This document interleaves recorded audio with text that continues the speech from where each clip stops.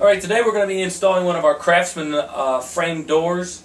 Uh, as you can see here we have a, a single opening so we're going to put in uh, a single door. The customer wanted to match the tile as close as we could so we're, going with one of our oil-rubbed bronze um, doors, the colors. Paul, what do we have to do when, uh, I know as we got here there was a, a door currently here so Alright, now we took out a lot older uh, chrome frame product, uh, it's pretty outdated, but you know, main thing is we just want to get that door out and get the opening as clean as possible. The best thing to do, if you can get the anchors out, it's always better to pull them because I'll actually backfill all these holes with silicone just as a precaution because we want to prevent, not that water would get in there, but always again, preventative. Right. Um, you want to get the surface as clean as possible.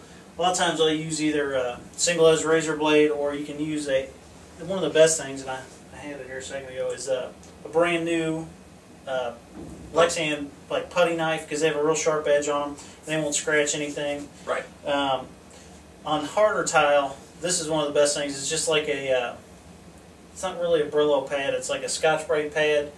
Um, this is a little bit more abrasive one, not the super light one that you'd use on uh, like Teflon pans. This is like for regular, you know, metal cookware. Right. You can use it on tile, like cultured marble, that kind of stuff. I wouldn't use it on because it will scratch that kind of stuff. But on here, because you know is a glazed surface, I mean you can see how clean that is. You can't even really tell Yeah. where the old door was. So. Yeah. And it's really important to make sure that you get all the silicone off here, um, just because we want to make sure when we go over it with new silicone that it, it, it adheres to the Right, tile, not the absolutely. old silicone. Absolutely, absolutely. Now the customer would have had a choice. I know we had chose a door that's a little bit shorter, but if they wanted a steam shower, and a lot of times folks are going to steam showers, they can run that door all the way to the ceiling. Absolutely, absolutely. Yeah. Now, like with the same situation you have here, this door is a little shorter. You always want to leave, you know, a few inches up here just for air exchange if you're not doing a steam shower. Right. Because it'll help keep, you know, cut down on mold and mildew. Because it'll allow that dry air to come in and the, the uh, moisture Right. to evaporate out. So Very good. All right. So measuring for a unit like this, fairly simple, right? fairly simple. Um, you do want to check the outages on it. They're not, you know, like if this was a, a frameless type installation, we'd be a lot more concerned as far as uh, any outage because we're actually going to cut the glass for that outage. Here we've got a decent amount of adjustment, so you know we do want to make sure because you don't want to get surprised by you know three quarters of an inch or something, but you know quarter inch here is not going to be the end of the world. So. Right. All right. But I mean, the first thing I'm going to do, I'm just going to go ahead and fill these holes all up. Just again, like I said, strictly a preventative thing. This is also a good time to use up one of your uh, silicone tubes that you've cut off huge. You just want to fill it up till it comes down. Now when measuring, while Paul's doing that, while measuring, we take a bottom measurement, but as he said, we like to make sure we put a level on the wall. Can't stress enough about uh, checking the wall conditions. It's the biggest mistake that we, that we see uh, as a manufacturer is folks don't uh, they don't check their wall conditions. So sometimes there might be an outage that is tough, uh, especially like Paul said on a frameless. We need to know even if it's out more than a 16th so we can make an adjustment. These walls are perfectly plumb. I'm gonna not put that in your silicone. So whoever did this actually used a level, and uh, I'm quite proud of him for that. On the height, uh, I, was, I asked the customer, since we weren't doing a steam shower, we didn't go all the way to the ceiling, they just wanted to match it up with a grout line.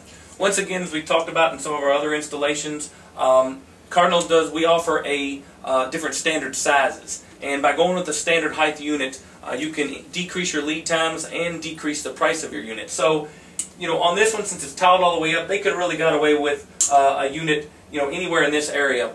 Uh, this particular customer chose to match it up with the grout lines. So we did that. It did become a custom unit at that point. Uh, so it, it took a little, little bit longer to make uh, and was a little bit more expensive.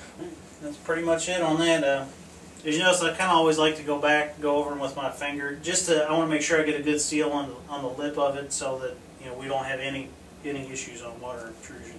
Right. Now, I will tell you the one key thing here that's should be first thing as far as if you're getting ready to start your installation is you're unpacking your stuff. Uh, framed and the semi-frameless type doors got a lot of small parts. Mhm. First thing you want to do is tape over the drain because if you lose a couple down there, they're gone. They're So- going. All right. So So that actually worked out because that came right off of your packaging, so oh, there you worked go. out perfect. Perfect. Um, really, first thing we're going to do, we're just going to lay the curb down. We're already going to try and follow the existing lines, so I know right where I'm going to land. I'm going to follow this grout line right up the middle anyways. Um, now our jamb is going to set to the outside of this curb. Obviously the lip is going to set to the outside to channel water back in. Um, like most curbs, this is just going to, we're going to have a basic glue down on it. Uh, we'll set it down with silicone underneath and then tape it in position while we position the wall jambs. This curb is actually full width, unlike you know some of the other curbs. Yeah, the semi-frameless curb is a little bit thinner, Right. but on the Craftsman series, it is a wider curb. Um, on uh, any of these kind of silicone underneath the curb, you want to do it with your tube laying up so that you're actually laying a round bead on there that's actually taller than the lip. So when you press it down, it actually seals. If you just lay a flat bead on there, it's not going to actually touch anything because there is actually a lip on this. I'll show that. We already know where we're going to position this. Like I said, again, we're just kind of following the old grout line.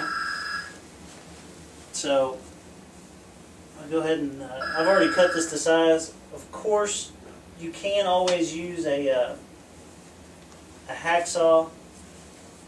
Uh, a miter saw is preferred. Uh, actual miter box electric saw is preferred. Uh, it's a lot quicker, cleaner, straighter. Uh, a hacksaw on something like this, since that's really the only thing we're going to cut, Right. you know, you're certainly fine with that. And then we'll tape this into position just to make sure I don't kick it by accident when we're doing the rest of the install. So basic tools for an install like this, you need a drill gun, you need a set of drill bits, um, Phillips head tip, probably a couple levels, masking tape, tape measure, silicone, silicone gun. Uh, hacksaw would be the, the bare minimum. If you have a chop saw, it's always going to make a cleaner cut. You So you've to taped it down? tape it down, pretty much ready to level up our wall jambs. Alright. Now, one thing I, on, on a dark, you know, material like this, sometimes it's real hard to see a pencil mark or a pen. What I'm actually going to do is cut a couple little pieces of tape and just place them where I'm going to go and where the holes are, so I can mark through the hole and see where it is, and I'll just drill through the tape and then just peel it off. Um, just make my life a little easier, and it doesn't have to be exact, obviously. It's just so I can actually see the marks.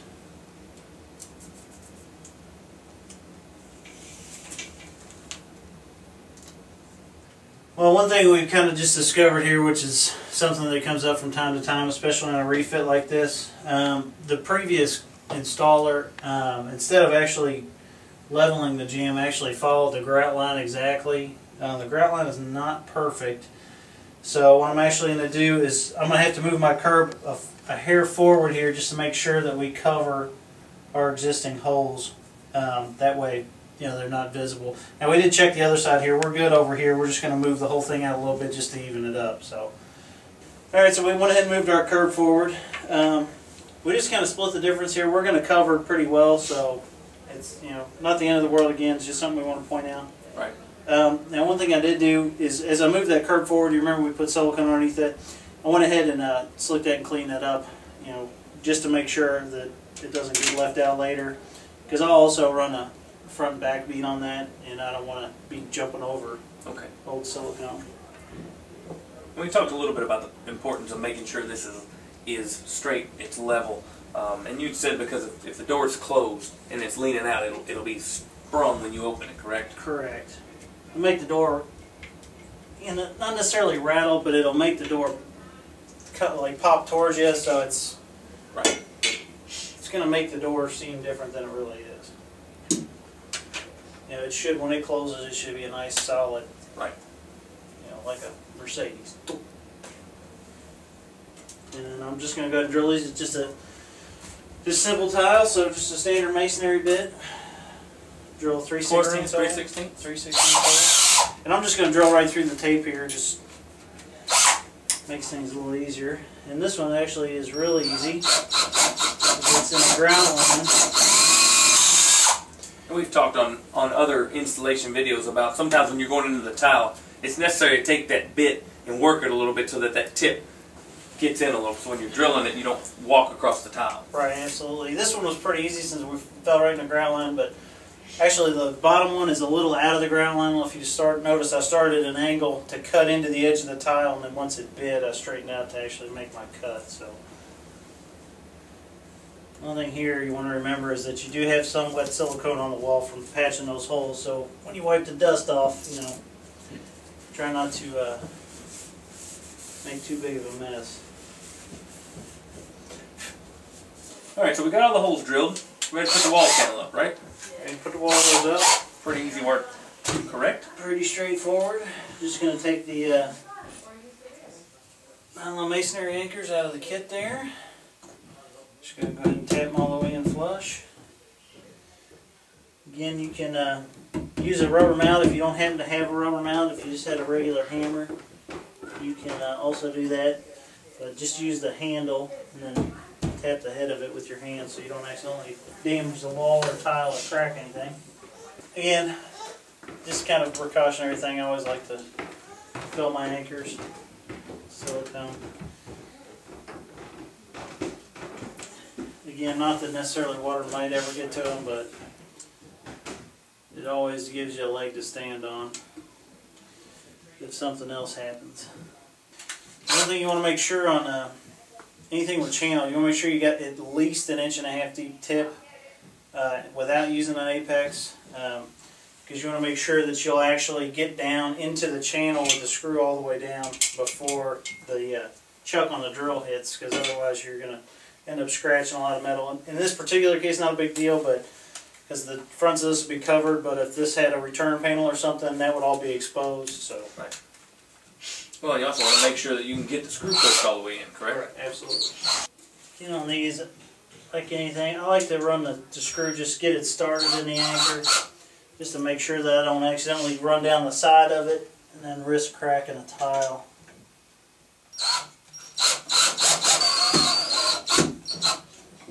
Like anything, especially using cordless tools, you want to be real careful you don't over torque these.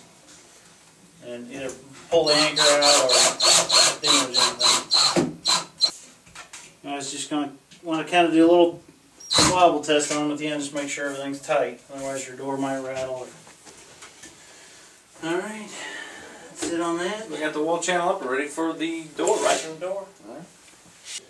Um, we're going to go ahead and I like to go ahead and put the uh, magnetic strike on here. Don't necessarily want to push it all the way down on some of these coated finishes. Um, if you push it all the way down, you might scratch it unnecessarily. Uh, it'll help me better get the door aligned here. There you go. So the easiest thing is just try and get the bottom of the channel over and then just let it stand up and work its way over. Just to get this aligned. Now, this is where you have your adjustment in the door, correct? Right, this is where you're going to get all your adjustment. Now, of course, even though this is, this door does have a lot of adjustment, um, for the installation sakes, I'm still going to try and even it up as much as possible.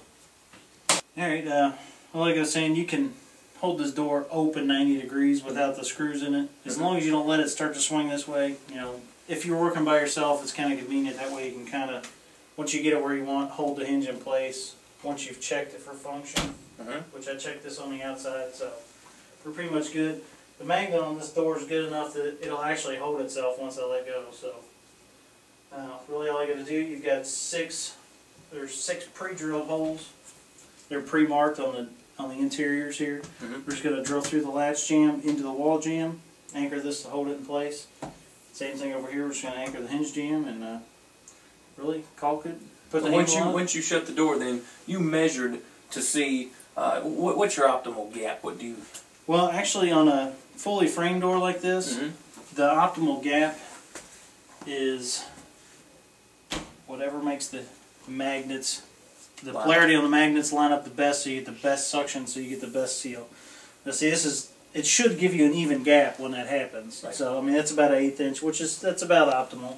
And you've got, you know, you you saw it, and you, you can hear it. It's that's that's perfect. It's nice and quiet, good seal. So we took the adjustment, we pulled the door out, we pulled the latch jamb out to get the proper adjustment. We made sure that our line has about an eighth inch gap, but more importantly, we made sure that the magnets uh, were touching. And now you're going to use your eighth inch bit to drill the the three pilot holes now that you've got your adjustment? And we're just, uh, we've got it fairly evened up in here as far as their spacing here, just for, mainly for appearance more than function. But, uh, that's about it. On these, especially if you're working by yourself, instead of just drilling all six holes, go ahead and drill the top two, get, put the screws in them.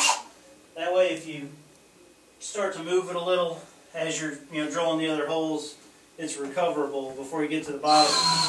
Now realize that you've got the door screwed shut. Right. And one other thing you want to make sure on these when you, as soon as the bit, this is a pre-drilled hole, they're not actually drilling through this. But as soon as your bit plunges through, that's, As you know, don't keep laying on it. That's pretty much it for the basic door installation. Now this one came with a uh, back-to-back handle. Uh, they all come with their own Allen wrench to release the set screws. I want to make everybody aware that this door usually comes with a standard handle. You do have your option. Uh, it's a little, almost like a little horseshoe or what we call a slimline pull. But this customer decided to upgrade to a C-pull through the glass for a, a little bit uh, nicer look. On these, you're just going to back the stud all the way out. Make sure you keep the, the plastic washer in between. The easiest thing on these usually to do, just to get yourself started on the one, see it'll swing past the edge of the door. And once you've got that started, then take your other screw, or you can take it off before. It's kind of easier if you kick it down a little bit too. That way, there's a there's a a plastic grommet in there to kind of keep the keep the uh, screw from rubbing up against the glass. Give you an added layer of protection. Alright, now we got those finger tightened up. Uh, they're just a flat head on this on this particular handle. You just want to snug them a little, just a little more than snug them. Otherwise, you can crack these plastic washers. Um, that, that, like I said, that's perfectly tight. It won't. It should never come loose because you're going to actually tighten a set screw up against it. So. There's no need to tighten it any more than that.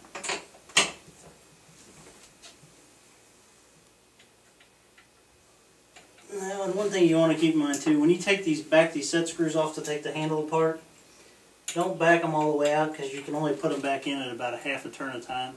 So if you've got them backed all the way out, you're gonna take twice as much time to.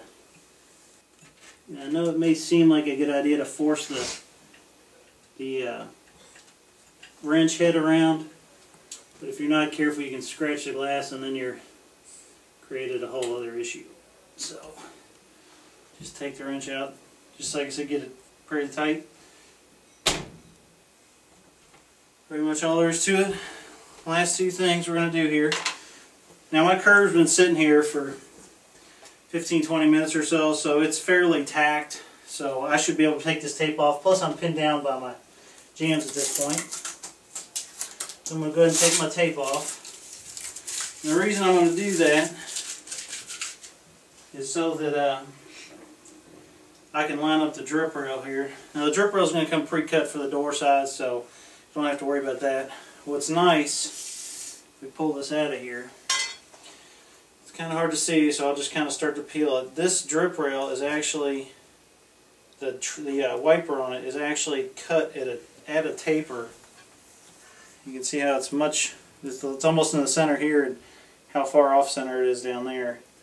The nice thing about that is, go ahead and peel this off.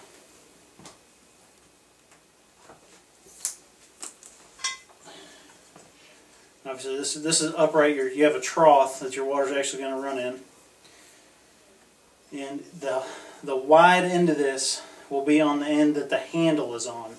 So that I'll show you why here just just a second. Because this is actually going to help you align this so that it's slanted back down into the shower so any water that gets in this trough will actually run back into the shower. So it's actually going to help you out with the alignment of it, which is nice here. And then uh, another good thing about this comes with a little roll of double-faced tape, which is really positioning tape so that you can uh, get the uh, drip rail on there and positioned properly before you put screws in it. And you uh, always want to put screws in it because double-faced tape will uh, fail eventually in a shower with all the detergent and everything. So I think the the vinyl you talked about that's real important. We have lots of people call and ask. They think that something's wrong with their vinyl because it is. Uh, it's got a perforated at an angle. They think that they got uh, a, a faulty a piece of vinyl. But the reason is to make sure that they know that the water's supposed to drip. That's another issue that I know. A lot of times these people don't put the drip rails on. They put them on perfectly level, and they wonder why the water slings out of the tub. Well, and there's actually one more little thing on this rail that's kind of key. I'm going to get you to hold that real quick. Going to throw this tape on here. One thing, anytime you're putting double face tape on, something like this, tilt that up a little bit. If you pull it tight for your width and use your this thumb as a guide, kind of push towards it, you can get it on there almost perfectly straight which um, it just for it's strictly appearance. You know, it's still going to adhere, but always better to do it where it looks the best.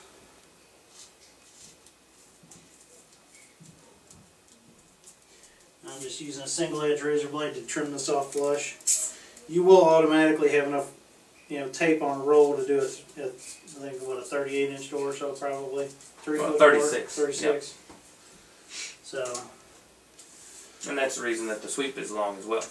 and I'm actually gonna, before I cut this, as far as the length, I'm gonna close this door and just kind of check my width, because I may want to just go ahead and pull it like this and then cut it off on both ends, depending on my gap. I don't want it to just just be brushing on the on the uh, curb here, so we don't have any hang up.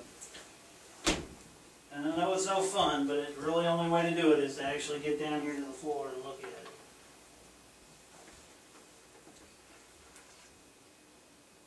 Once again, that bottom vinyl, it needs to be just barely off the bottom of that curb. You don't want it brushing on it completely for two reasons. Number one, it's going to hinder the function of the door. It's going to get twisted up under there. And number two, if there is water setting on that curb, if the curb itself where the tile is is not uh, tilted back into the tub, that, that will actually brush water out of the tub. So you want it just barely missing the curb part here.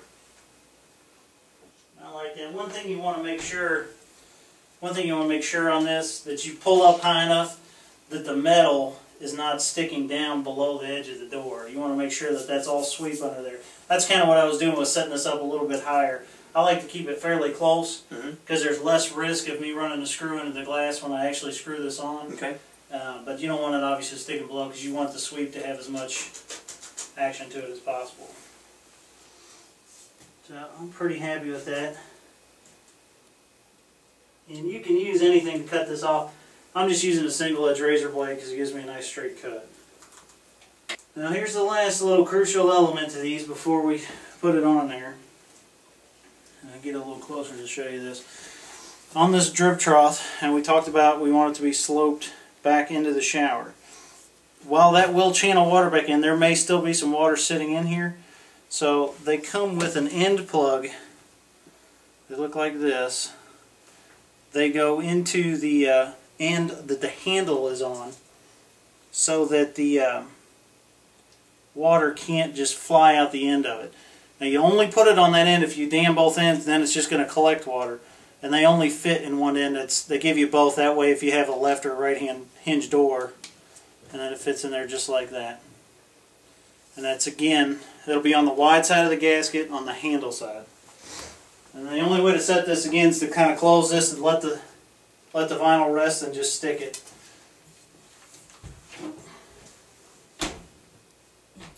Uh, one last little thing here.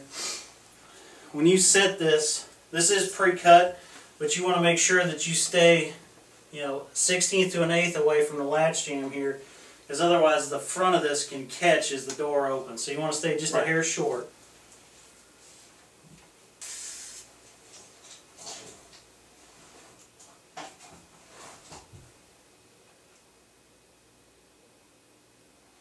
So just kind of rest it right on the vinyl.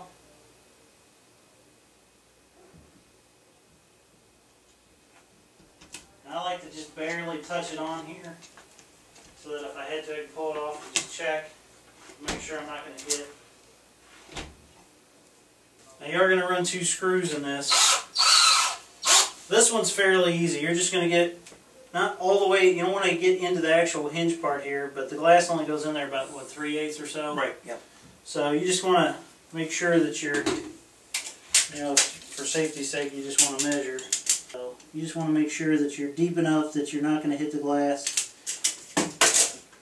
and not into the uh, actual hinge of the door. Uh, okay, now we get both our screws in. Um, this one, uh, one thing to keep in mind on this, this one is fairly easy of the two. That one can end up a little close. That's another reason I was saying you want to make sure you get the, the, the metal part down as close to the bottom of the door as possible. It gives you the, the most opportunity to miss the edge of the glass over Right. there. The biggest thing, like I said, this one's fairly easy to miss. That one, just, you know, go through slow and, you know, don't over penetrate it. That's one thing on this too.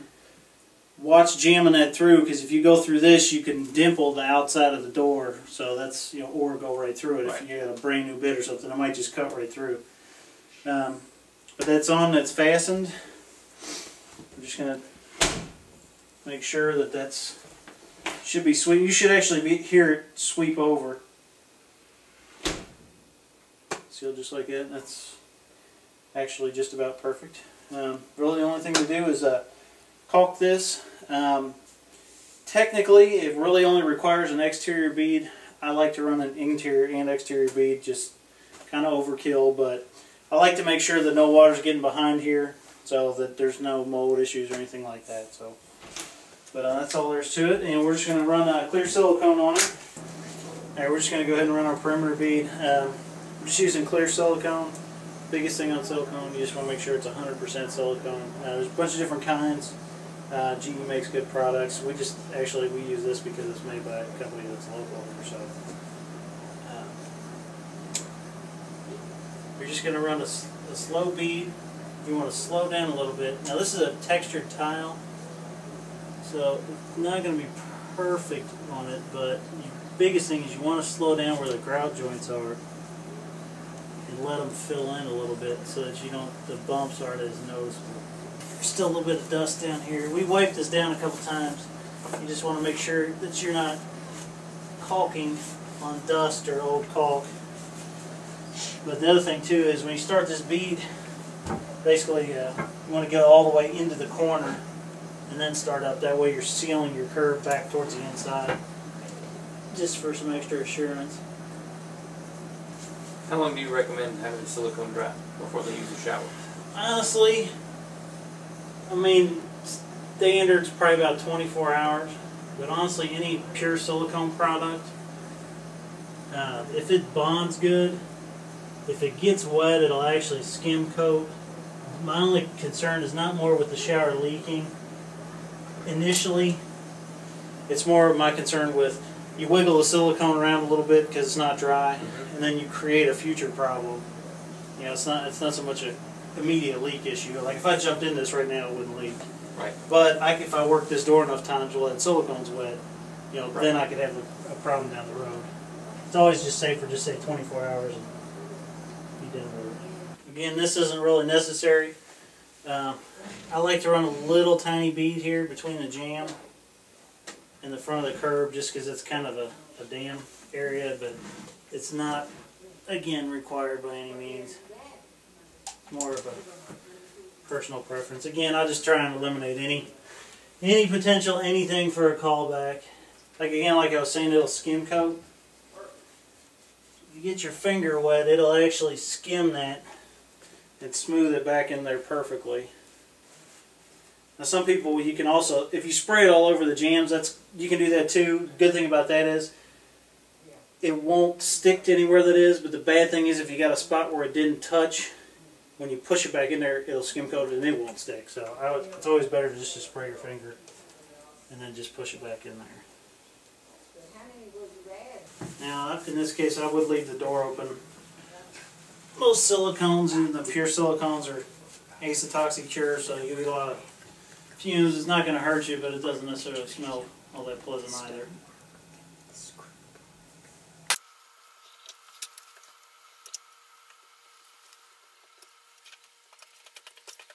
And one other place not to miss on this, the curb is actually deeper than wall jambs, so you want to actually go into the corner where the wall jamb, you know, this would be your curb, the wall jamb where it meets. And go ahead and pump that full, and that'll help seal the end of the threshold so that you don't have water and stuff get under that, which could leak. But obviously, we're sealed on the outside again, so it's Sure. really redundant. But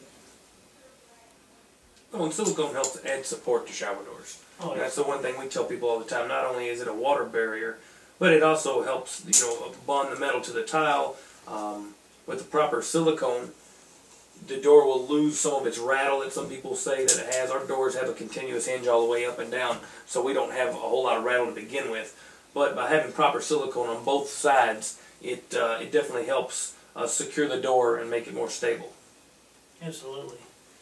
This door too has got that Cardinal 10 product on it, so it's gonna come clean fairly easily. You won't really have to spend a lot of elbow grease on it. Just make sure you don't pick up one of the towels you were using for silicone. Well, Paul, I think the door looks good. Turned out great. I think the customer's going to be happy. Good job.